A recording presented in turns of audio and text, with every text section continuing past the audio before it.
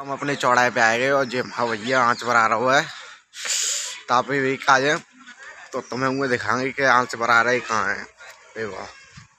जे आँच बरा रहा हो जे रहो। जे रहो। ठीक है भैया। आए करते हो। ठीक है भैया, राम राम। चैनल सब्सक्राइब कर लूँ।